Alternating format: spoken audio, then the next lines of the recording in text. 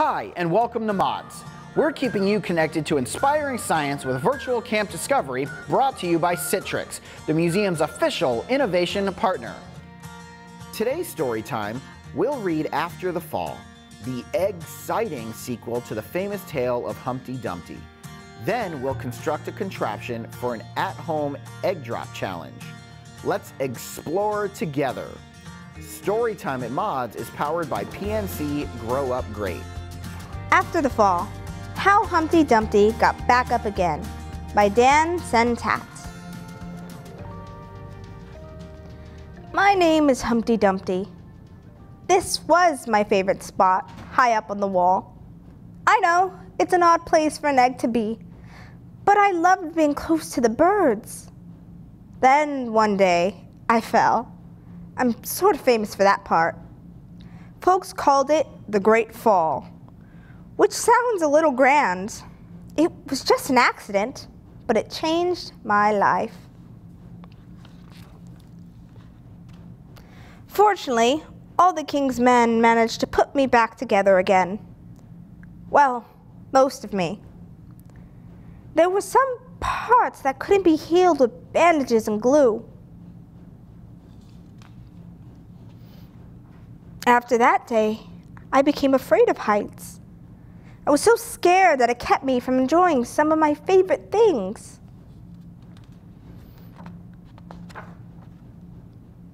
I walked past the wall every day, and I would think about climbing that ladder again.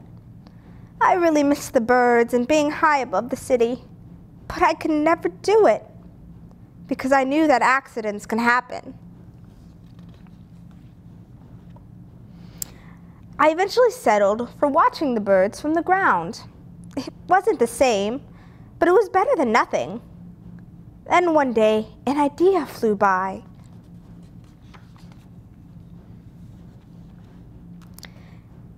Making planes was harder than I thought. It was easy to get cuts and scratches, but day after day, I kept trying and trying until I got it just right.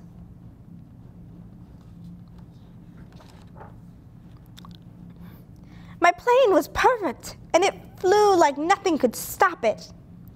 I hadn't felt that happy in a long time. It wasn't the same as being up in the sky with the birds, but it was close enough.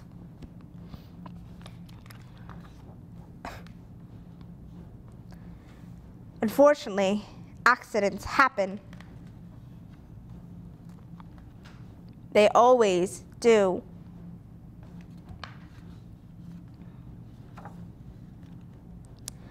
I almost walked away again. But then I thought about all the time I'd spent working on my plane and all the other things I'd missed. I decided I was going to climb that wall. The higher I got, the more nervous I felt. I didn't want to admit it. I was terrified.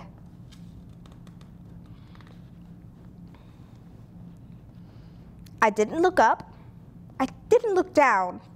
I just kept climbing, one step at a time.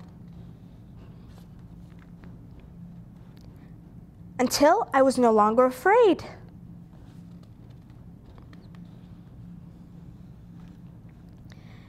Maybe now you won't think of me as that egg who was famous for falling.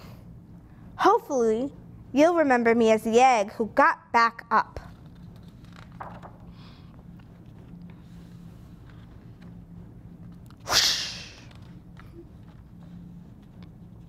and learned how to fly. The end. Life begins when you get back up. Hey everybody, so we just finished reading After the Fall, and now we're going to go into our awesome, excellent craft. So it's going to look a little something like this as we learn life begins after you get back up. For Humpty, he was terrified of going back up to that place where he fell, but he got innovative with it to get brave. So for this craft, we are going to create our own little safety net for our Humpty Dumpty. All you're gonna need is an egg, I don't have an egg right now. But you need that egg you have right at home, a paper bowl, some straws, some newspapers, scissors, masking tape, cotton balls, and anything else you have lying around the house. The important thing is you want to create a safety net in which we can drop an egg onto the floor without breaking it. So let's get started. So the basic idea here is that we want to make a awesome contraption so if we drop our egg, our egg won't crack like Humpty Dumpty. Because unfortunately we don't all we don't have all the king's horses or all the king's men to fix our egg if it cracks. And I'm sure you're not going to put a bunch of tape and glue over your egg. So what we're gonna do is you want to utilize at least my contraption. You don't have to do exactly like me, but it's kind of a basic idea. You want to take some newspaper and you want to make lots of padding around the base of your bowl. This way, when it hits the ground, your egg doesn't take that force that causes it to crack. You want to make sure you utilize only masking tape, that's part of your challenge. That way, it doesn't stick. Now the cool part about this, is it doesn't just have to be newspaper. You can even make a parachute if that helps to lessen the velocity as it falls. I'm going to wrap it around my bowl here. Fun, creative process. This is definitely a two-person job, so make sure you have mom and dad to help you, especially if you're working with scissors. That way you don't get hurt. There we are. We have a nice little cushiony pillowcase for our egg. Sometimes it helps to just tape it along the bottom. You only have one roll of masking tape, so be careful what to use. Do everything quickly and efficiently.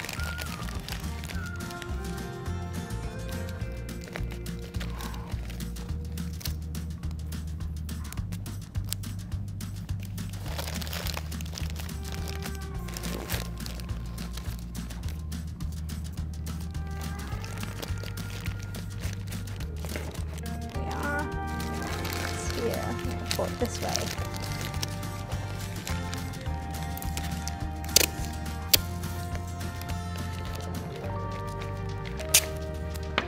I'm sure Humpty's story is very relatable to a lot of people.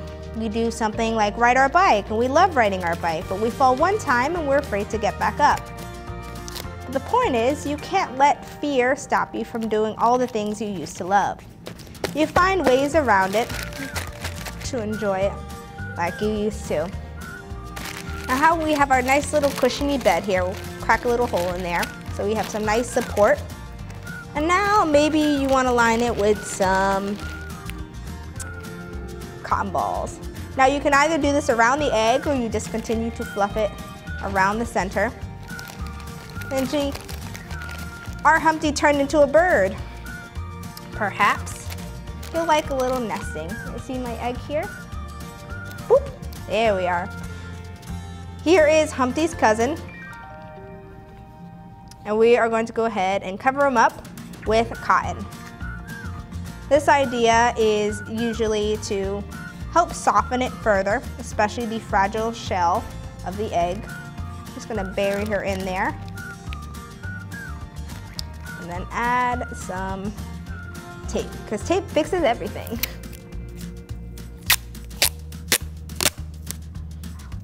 Remember everybody, it doesn't have to be pretty, it has to be effective. There we go. It's nice and extra protection. Make sure you get it on both sides so your little eggy doesn't flip out. There we go. Nothing will harm my eggie.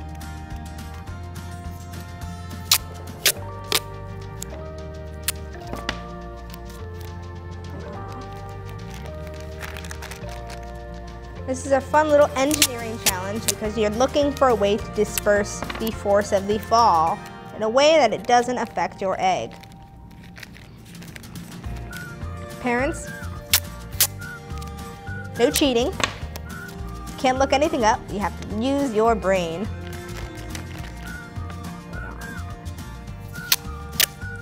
Now the cool thing about straws is straws add an extra sort of support system. So in case when you drop it and if it flips, we can use our straws as a kind of cross beam system so it takes the brunt force of that fall. Do it like that. And it makes for a cool handle. There we go.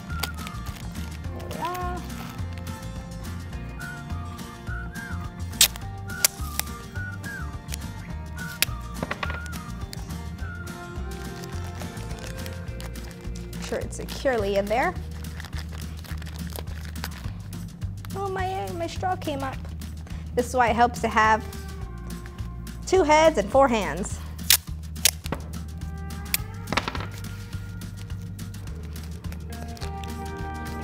A beautiful contraption.